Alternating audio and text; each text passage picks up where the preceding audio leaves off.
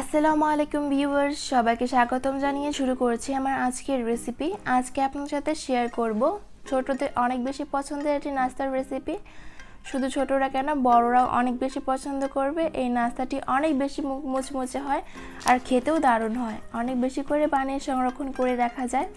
এই রেসিপিটি অবশ্যই আপনাদের কাছে ভালো লাগবে। তাহলে চলুন দেখে নেওয়া যাক পুরো প্রস্তুত প্রণালী।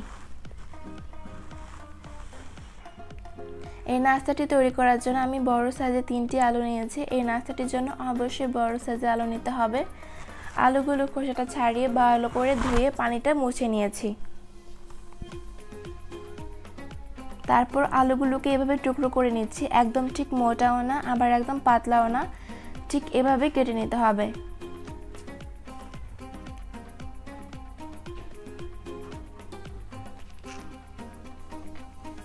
আমার সবগুলো আলু কাটা হয়ে গেছে। এবার একটা কুকি কাটার দিয়ে মাঝখান থেকে আলুগুলোকে কেটে নিচ্ছি। এভাবে রিংয়ের মতো করে কেটে নিতে হবে।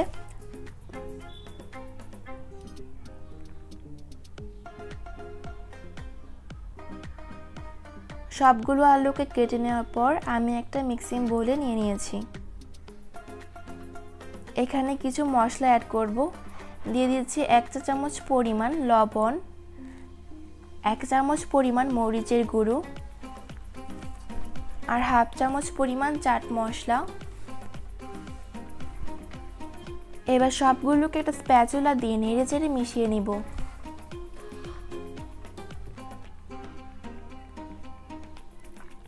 সবগুলো আলু মশলার সাথে মিশিয়ে নেওয়া হয়ে গেছে।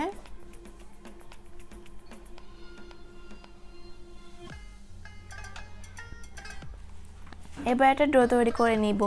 নিয়ে নিচ্ছি এক কাপ ময়দা। দিয়ে দিচ্ছি হাফ চামচ পরিমাণ কালো জিরা। স্বাদ মতো লবণ। আর এক টেবিল চামচ রান্নার সয়াবিন তেল। সব কিছু একসাথে ভালো করে মিশিয়ে নিচ্ছি। আর ময়দার সাথে তেলটাকে ভালো করে মিশিয়ে নিতে হবে, তাতে করে অনেক বেশি মুচমুচে হবে।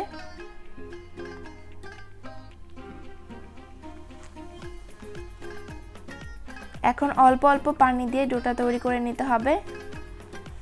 এই ডোটা কিন্তু নরম করা যাবে না, একটু শক্ত করে ডোটা তৈরি করতে হবে। কিছুক্ষণ মথে নেওয়ার পর ডোটা হয়ে গেছে, দেখুন একেবারে নরমও না, একটু শক্ত টাইপের হবে।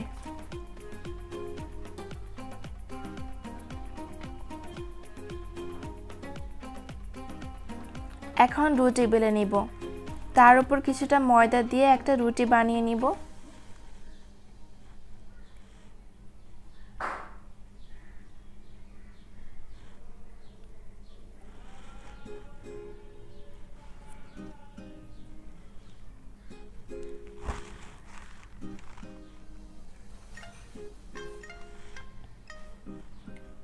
রুটি বানানো হয়ে গেছে। এবার একটা পিৎজা কাটার দিয়ে এভাবে কেটে নিব। আপনারা ছুরি দিয়ে এটা কেটে নিতে পারেন।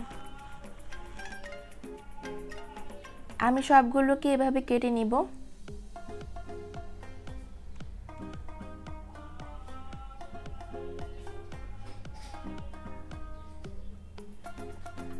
আমার সবগুলো কেটে নেওয়া হয়ে গেছে।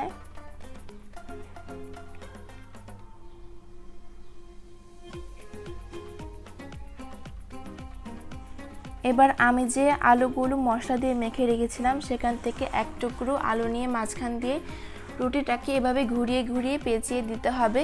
এতে করে দেখতে অনেক বেশি সুন্দর হবে। আপনারা চাইলে এটাকে আলু রিং চিপসও বলতে পারেন, তবে এটা একটু ভিন্ন ধরনের।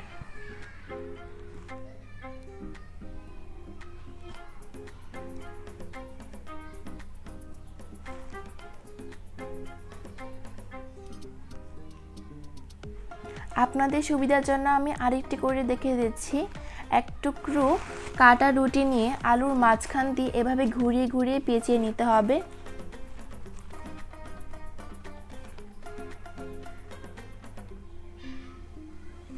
এই যে দেখুন, হয়ে গিয়েছে। এভাবে আমি সবগুলো তৈরি করে নিয়েছি। খুব সহজে কিন্তু তৈরি করা যায়।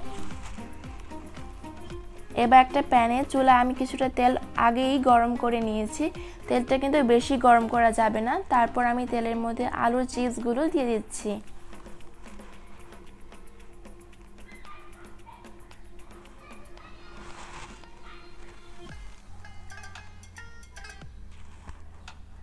তারপর চুলার আঁচটা মিডিয়ামে রেখে এগুলোকে উল্টিয়ে পাল্টিয়ে ব্রাউন কালার করে ভেজে নিতে হবে।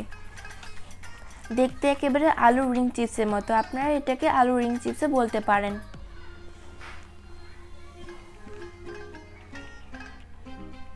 ব্রাউন কালার হয়ে গেছে। এবার তেল থেকে সবগুলোকে উঠিয়ে নিচ্ছি।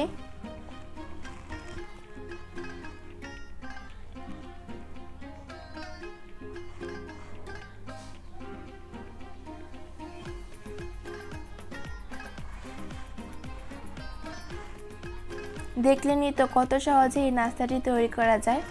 খেতেও অসম্ভব মজার হয়, অবশ্যই তৈরি করবেন। আপনাদের কাছে অনেক বেশি ভালো লাগবে।